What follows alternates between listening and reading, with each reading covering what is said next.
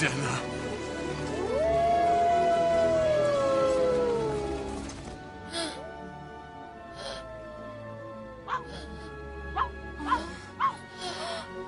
Wrócili. Udało im się.